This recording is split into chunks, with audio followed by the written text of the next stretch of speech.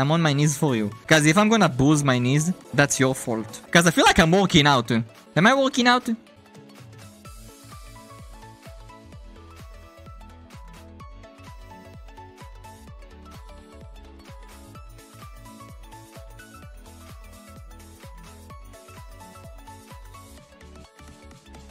Guys, how was that? Did you guys hear the kiss in your head? Guys, I'm literally gonna have bruised knees now.